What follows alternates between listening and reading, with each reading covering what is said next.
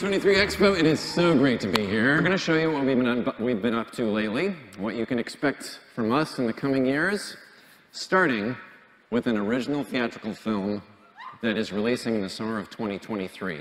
It's called Elemental.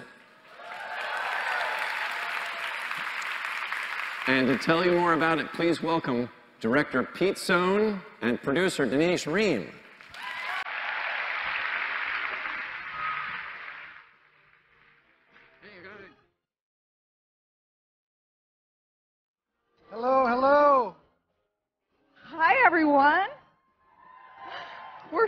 Excited to share our film with you today. So please welcome our Ember and Wade, Leah Lewis, and Mamoudou Athie.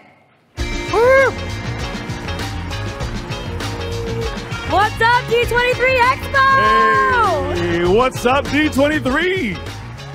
Hello, everyone. Thank you so much for having us. Let's make this half of the room team fire. All right?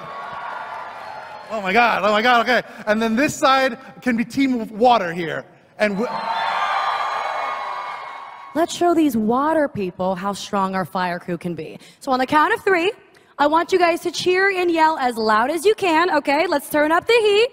One, two, three. Hey! Yes, guys, yes, fire! Nah, nah, nah, nah, nah, nah, stop it, stop it, stop. We got this, guys, we got this. Okay, all my water people out there, let's show fire what we can do. On the count of three, we make it rain. One, two, scream!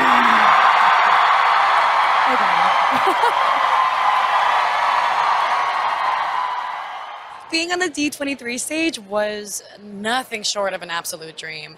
I mean, I've been watching Disney since I was a kid now, and it's it's pretty much raised me. It's been such a huge fiber of my being. So to actually be a part of a project and be on stage with fellow Disney lovers, it was really special. Sharing some of the footage, it was absolutely surreal. I mean, some of that stuff I haven't even seen myself, so I was actually watching some of it for the first time, and it's it's more than I could have ever dreamed of. Like I the character I'm so close to obviously, but like the colors and the kind of animation that they have incorporated in this film, I actually heard they haven't really done effects like that before. So to actually see it on screen, I was just like, this doesn't feel real. I am most excited to see the audience really connect to a character that loves her family, is incredibly hard on herself, and is just filled with love that she has to give.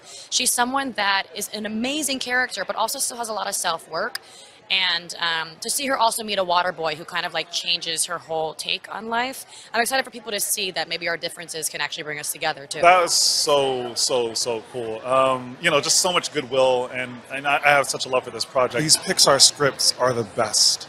They're like the best. They, they, they're the best. Um, but also the, there's a family element so there's a I, I mean i'm a first generation immigrant myself so it's it feels very close to me I mean, I was really emotional actually um, because we've been working on this movie for a while and it's been a challenge.